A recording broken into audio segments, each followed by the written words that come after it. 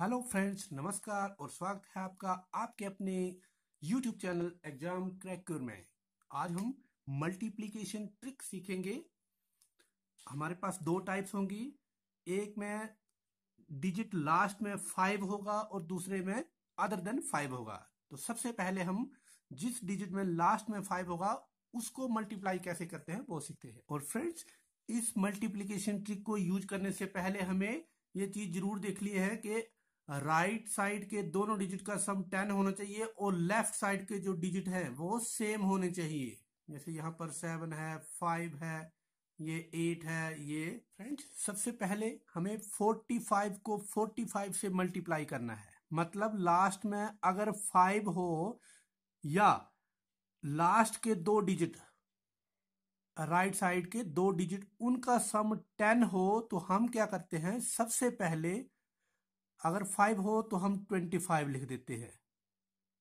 और फिर जो डिजिट यहाँ पर लेफ़्ट साइड में होगा, उसको उसके आगे वाले डिजिट जैसे यहाँ पर फोर है तो फोर के आगे वाला डिजिट होगा फाइव इसका जो आंसर आएगा वो यहाँ पर लिख देते हैं।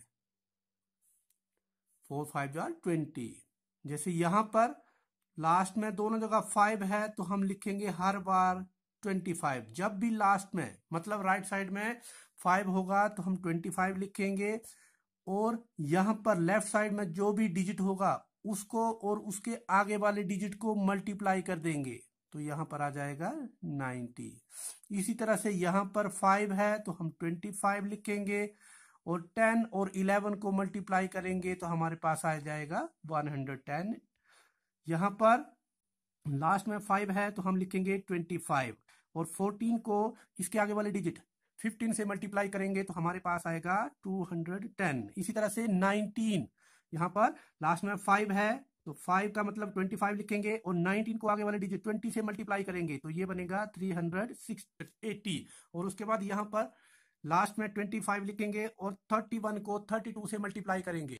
और थर्टी वन को थर्टी टू से मल्टीप्लाई करेंगे तो ये आ जाएगा नाइन नाइन टू और उसके बाद हम सेकेंड टाइप देखेंगे जहाँ पर लास्ट में फाइव नहीं है। तो फ्रेंड इसका मतलब ये भी है कि हम स्क्वायर कैसे करते हैं? जैसे यहाँ पर 45 का स्क्वायर 95 का स्क्वायर 105 का स्क्वायर 145 का स्क्वायर 195 का स्क्वायर कैसे किया है हमने? हम लास्ट में 25 लिख देते हैं लास्ट के दो डिजिट और उसके बाद जो पहले दो डिजिट होते हैं, उसको, उसके आगे वाले नंबर से मल्टीप्लाई करते हैं और हमारा स्क्वायर भी बन जाता है। अब हम फ़र्स्ट टाइप में आते हैं। तो फ्रेंड, इस टाइप की जो मल्टीप्लीकेशन है, उसमें हम चेक करते हैं राइट साइड के दो डिजिट, उनका सम।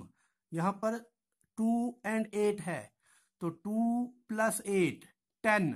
हर बार लेफ़्ट साइड के, राइट साइड के दोनों डिजिट, उनका सम टेन आना चाहिए। चार जमा छ दस छ जमा चार दस, आठ जमा दो दस, नौ जमा एक दस, तीन जमा सात दस। तब हम क्या करते हैं लास्ट के जो डिजिट जब टेन होता है तो उसको मल्टीप्लाई करने के लिए हम क्या करते हैं, आठ और दो, जो लास्ट के दोनों डिजिट या राइट साइड के दोनों डिजिट जो हम उनको मल्टीप्लाई कर देते हैं तो यहाँ पर आ जाएगा आठ दुने सोलह, और नाइन को उसके आगे वाले डिजिट टेन तो नाइन इंटू टेन होगा नाइनटी ये हमारा आंसर आ जाएगा। इसी तरह से छ और चार को जब मल्टीप्लाई करेंगे तो चौबीस बनेगा, और सात को उसके आगे वाले डिजिट आठ से छप्पन।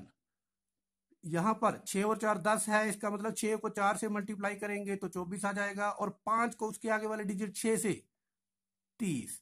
इसी तरह से आठ जमा दो दस है, इसका मतलब आठ को दो से मल्टीप्लाई करेंगे, सोलह आ जाएगा और आठ को आगे वाले डिजिट नौ से मल्टीप्लाई करेंगे तो नाइनटी यहाँ पर नौ और एक को मल्टीप्लाई करेंगे तो नौ मतलब हमने दो डिजिट में लिखना है, ज़ीरो, नाइन लिखेंगे।